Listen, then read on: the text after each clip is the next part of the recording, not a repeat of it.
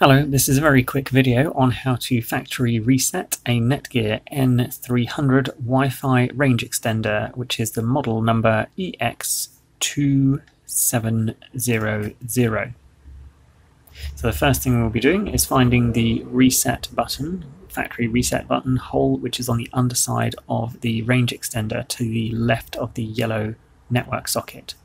You need a pin or a paperclip and press it and hold down until the power light flashes seven times and then let go.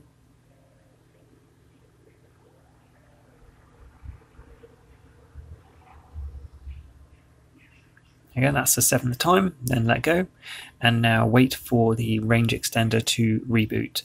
This will take around about uh, just over a minute before it's rebooted and is then ready for you to connect to.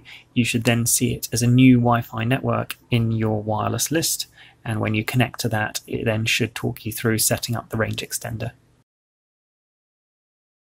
Hopefully this video has been helpful to you. If it has, it would be really helpful to me if you wouldn't mind subscribing to my YouTube channel. You don't need to have the notifications switched on, but the subscriber numbers really do help.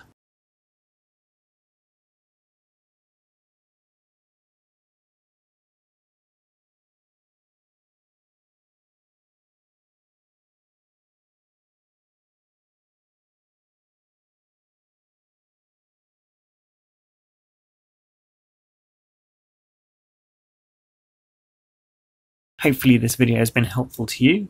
If it has, it would be really helpful to me if you wouldn't mind subscribing to my YouTube channel. You don't need to have the notifications switched on, but the subscriber numbers really do help.